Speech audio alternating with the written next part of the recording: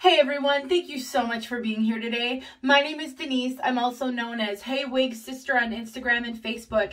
Today I'm here to bring you a Tip Tuesday.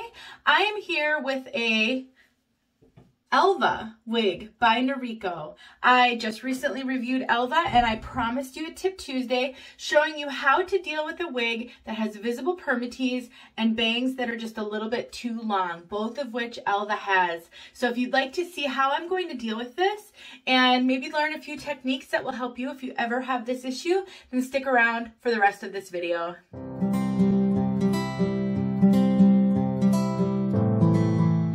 All right, so I threw Alva on so that we can start talking about her and I can share with you some of the things that I'm seeing and I will tell you that she already looks a lot better, even though I have not done anything to her yet, because I've put her on my head a few times. I've been playing with her. I played with her in the review. And all of that is going to help a wig start to loosen up. Um, visible permatease will start to disappear as it flattens back into the cap. And as, you know, as I've played with her and I've fluffed her up a little bit as those fibers are lifted. So some of that is just natural over time. But when I first got Alva out of the box, the visible permatease was very significant. And so I, again, it's, it's diminished a little bit over time. But what I'm talking about is right up in here, all of this, there's like kind of fuzzy fibers in there. Hopefully it's coming across on the video. It can be hard because when you don't have a rooted wig, it kind of blends in but yet in person it looks very obvious and I have shared in the past that one of the ways you can combat visible permatease is to get a rooted wig. Having a darker rooting up here really does help disguise that. Another would be getting a fairly curly wig or wavy wig because when you've got curls and waves, just in general, those tend to be lifted up off the cap. And so then they are higher than the permatease and then you can't sometimes see that permatease.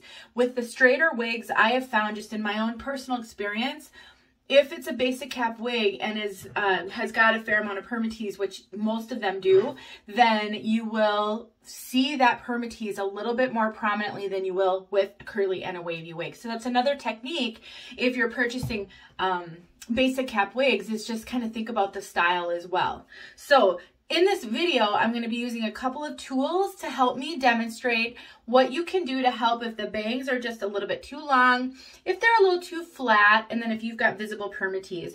And the star of this video is going to be my hot air brush.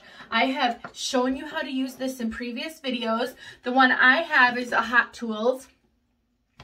Um, but I mean, you can purchase any hot air brush. The keys that you're looking for, uh, that um, it's an airbrush, not a curling iron brush. So you don't want it to have metal in here and you don't want it to heat up. And it is preferable to have it be all plastic. I have just recently purchased a hot air brush that has a metal in here. I am going to be testing that out on some wigs and if I find that that works well, uh, then I'll bring you guys a Tip Tuesday to share that because I think as, as important as, as it is that I share reviews and color spotlights and styling tips, I think showing tools and those kinds of things are also really helpful. So more to come on that as I test it out. And I also have with me just some basic scissors. I've got my thinning shears, which are the, the scissors with the little tines or the teeth. I've got straight scissors and I have my, which I didn't pull out yet, but it's just handy right here, my razor comb, which I find to be uh, of all these tools, I think a razor comb is an absolute must-have for every single wig wearer. It's, it's easy to use. It will help you with certain minor trims and it is not expensive. So I always link these in. I always have my Amazon store linked in the description. If you scroll down into the section where how I think it's titled how you can support me and I will have my Amazon store linked there. But if I think of it when I'm posting this video, I can pull out a few of these links out of Amazon just so that you have them handy too. Again, no need to purchase from the links. They're just examples for you. You can certainly purchase anywhere that you can find a similar products that are good price. All right, so let's get moving here. Now, one of the things I like to do, okay, it's on the counter, is I like to use a little bit of water on my wigs um, when I'm using a hot air brush on a synthetic wig. So this is a regular synthetic. It does not have heat-friendly fibers. You can use low heat on wigs that are not heat friendly. You just want to be cautious. Everything I teach you in these Tip Tuesdays, I ask you to research, to you do with caution, you know, at your own risk. I am not, um, I'm not a professional hairstylist. I'm not a licensed hairstylist. I am a everyday wig wearer who's done some of these things and figured them out on my own and I'm bringing some ideas to you. So please keep that in mind. And if you were to try something with a wig and ruin your wig, there's so many variables that can can factor in please don't come after me for it. I'm just trying to share with you what I've done. So one of the first things I'm going to do before I even start to deal with trimming these bangs, which are just too long for me, um, is I'm going to try to get some lift here because with the hot air brush, if I get some lift, I will be hiding that permatease. And so, and in the process of that, the bangs may look a little shorter if I get a little lift out of them. So I don't want to cut them before I've managed that part of it. And personally for me, I would like just a little bit more lift here. Uh, even though it has permatease, the permatease isn't heavy. And so I'm not going to get a sustained lift just by uh, getting in there and digging into that permatease. So the first thing I'm going to do is I'm going to take this spray bottle and I'm just going to gently and lightly spray. You don't want to take too much water because then it's going to take a long time for the hot airbrush to do its job. But a little bit of water helps. I think it protects the fibers a little bit, creates a little bit more of a steam environment, which is uh, helpful in getting to redirect these fibers. So now straightening out this cord here. So now I'm going to take my hot airbrush and I'm going to use it on high. This one doesn't have a temperature control. It just has a low and high. It is not a high heat. This does not give off a ton of heat, which is why it's safe to use on synthetic wigs. When I've been using this in the past, I can show you that I can hold my hand over this as I've got the fibers and I don't burn my hand. That tells me this is safe heat. So let's just kind of watch what I'm going to do here. I'm going to turn it on. And now I'm just gonna kind of get in here and I'm gonna pick up some of the fibers right here at the at the permatease. So I'm gonna start probably first of all, I'm just kind of going side to side because what I want to do is I want to lift the fibers up. Now, depending on which way you want to part it, because, you know, with the basic cap, you can part it wherever you want. Once I start getting these warm and malleable, then I'm going to want to part it from this way to this way. So I'm going to want to do it the opposite way more to begin with. Because then when I flip it over, it's going to have some lift.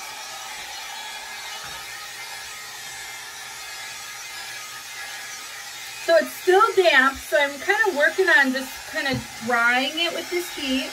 And you can see, this is not getting hot. I can hold my hand on here indefinitely, and it's not going to burn my hand.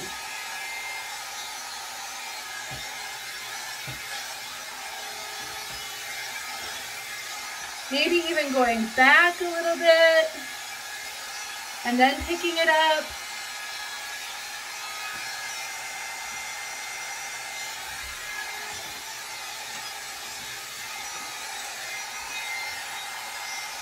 Something you can do, and I'll probably show in a future tip Tuesday, is if you're starting to get frizzy ends, a hot airbrush can really help smooth those ends back out as well. So now I'm just sort of holding it up a little bit.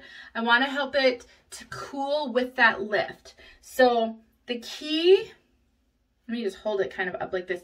The key to redirecting synthetic fibers, whether that's getting them a little bit straighter, directing maybe a crimping that's happening, is you want to let them cool in the new direction before you kind of set them there. The cooling process is what actually resets that new style. So I'm just holding it up a little. If you have a mannequin head, this might be easier to do on a mannequin head. I just sometimes too lazy to pull my mannequin head out. And it can be helpful to when you're doing something like this to do it on your head because then you can see how it's laying and where it's going. All right, and usually when you're using low heat like this, it is gonna take a little bit of time, maybe multiple sessions doing this to get it to work. But already you can see there's some lift here. And that was just from kind of the first pass. And as I start to get more lift, you're not going to be able to see that permatease as well because the fibers will be higher than the permatease. And as I do this, I'm also starting to learn how maybe I want to direct these bangs before I were to take any type of scissors to them because that's permanent. This is, it's permanent, but it's not drastic because once you redirect uh, synthetic fibers, they stay there, um, but it's not drastically permanent like cutting it.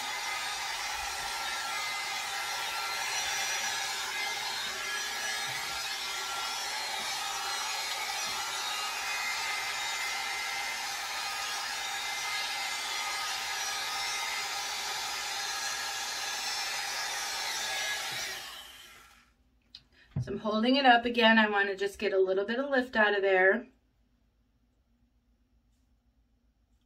Since it doesn't have a lace front, I definitely need these bangs to stay forward.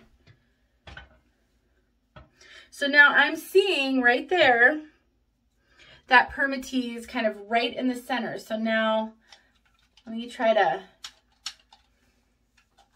before I turn it on, I'm just trying to see what I'm doing here and get a little bit more lift right here in the center.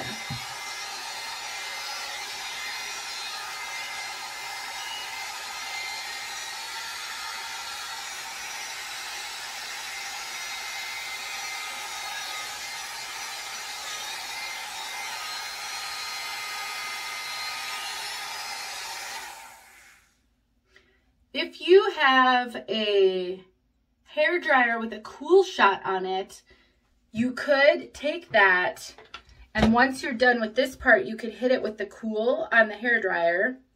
If you're good with tools, you could even use a hair dryer and a round brush to do this as opposed to the hot air brush. And then that would be easier to use that um, cool shot. I'm just not super talented when it comes to stuff like this. So keep that in mind, especially if your curling iron, if your hair dryer has a kind of a low heat setting. So now can you see there's a lot more lift in the front here than there was before. Now the question is, is it going to stay? that I can't, you know, that's going to take some time to determine. It may take multiple sessions to finally get it to stay because we're not using a ton of heat. But now look at it. First of all, these bangs, like I said, they're going to maybe shorten up a little bit as I get lift. And that's what's happening here. I'm going to have a lot less to cut because now they're starting to get shorter. And I've gotten this lift here. So that visible permatease is much lessened. How cute is that? Now, you might like the flatter look. You might not want so much lift here. So in that case, um, you have a couple of options. You can, one of the things that you can sometimes do is you can take hair fibers. I have an example here, this Boost and Blend hair fibers, and you can put some hair fibers on the visible permatease and see if that will help hide it. I have done that with mixed results, depending on the color of the wig, the color of the hair fibers, and um, how bad the visible permatease is, it sometimes works and it sometimes doesn't. So if you have hair fibers on hand, maybe you used to use them to blend your own hair with toppers or just to hide your scalp when you were losing your hair like I did for 20 years, then it's worth a shot because they come out, they're not permanent, they'll wash out. Um, they're a little messy. I mean, I really don't like using hair fibers very often. They kind of get all over. They're such a fine fiber. And I don't know if I've got PTSD from using it for 20 years or what, but I just really am done with fibers. But I do want to share with you that they can be a good tool um, to helping to disguise. And you can just shake a little bit on, on that area. Um, another thing you could do is you could start to add a little rooting with a furniture marker. And sometimes just doing that will draw the eye into that a little bit different, reflect the light a little bit different, and hide that permatease. But for now, I am just thinking this is working perfectly. what I have done so far truly is I, and it's, it's sometimes hard to see in these videos. I'm doing the best I can to show you, but I'm going to tell you what I see. And when I look in the mirror, I, and I'm going to get up a little closer here, unless I get way in there, like super close, if I'm just at a natural standing distance from someone, I can't see that permatease at all anymore. This is lifted just enough for that. So I'm very, very pleased with that. Now, if I wanted more kind of volume over here, more rounded, more lift, I could do the same thing I did here with this hot air brush. If I wanted maybe just a little bit more curve down at the bottom, again, I could do the same thing. Spray it with a little bit of water and then use my hot air brush and then just always make sure the key is whatever you do with it, you're going to want to let it cool as much as possible in that position. That's why I'd said if you've got a hair dryer and a round brush, and a hair dryer with a cool shot, that might even be better uh, because then you can cool it a lot faster. So now the only thing left for me to do is a little bit of trimming of these bangs where they're just too long and they're in my eyes. Now, if it's a minimal amount of trimming that you have to do, I highly recommend you get one of these razor combs. They are so fool, I mean, they're foolproof to the point where they're, I think they're better than scissors. So you just take it and you just kind of comb it down. It's very easy. The blades on these get dull very fast with these synthetic fibers. They're the plasticness of the fibers dull blades. They dull hair cutting scissors blades. So if you find after a few times of using this that you're you're having to do a lot of sawing to get the hair to cut, change the blade. The one that I will link comes with 10 blades. They're very easy to change. They just slide right out like that and just that's when I when I know I need to change it when I'm when it doesn't basically go through like butter. I just recently changed it. So if I have to do a ton of sawing, I need to change my blade. The alternate option would be to use a scissors, but what I find for me personally, because I'm not super experienced, is these can be really hard for me to use. I get more of a blunt cut than I like, and I'm not good at point cutting. So if you've watched any videos of cutting bangs or cutting hair, they'll talk about doing point cutting where you kind of cut up into the hair, not like this. I am very clumsy with that and it inevitably doesn't seem to work very well for me. So I, I will sometimes use a straight scissors, but I prefer, much prefer the razor. And then a thinning shears could be used if you're looking to maybe thin out the bangs. Let's say you just don't like the amount of bangs. You can take, let me make sure I have the thinning shears. If you're going to be doing things please put your straight scissors away unless you're using them. I have done this many times before where I had all of my tools on the counter and I'm doing this, I'm doing that, and I decide, oh, I just want to thin this. And then I grabbed the straight scissors and I did a big chunk out of it. So be careful. it's too easy to do, but let me just show you. So if I wanted to thin this because I, it's too heavy of a bang, then I can just take this and I can just cut through and then that that doesn't do a blunt cut. It just uh, it does like an uneven every few hairs gets cut and it thins those bangs a little bit. That is also easy for the new person to do.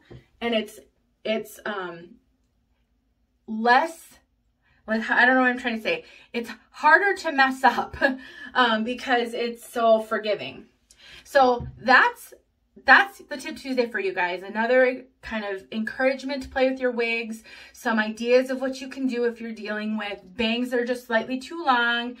These are awesome. If you're dealing with visible permatease and you do want maybe a little more lift, you don't mind that. And again, you can just take this into the sides to get more curve, um, into the other parts of it to get more lift.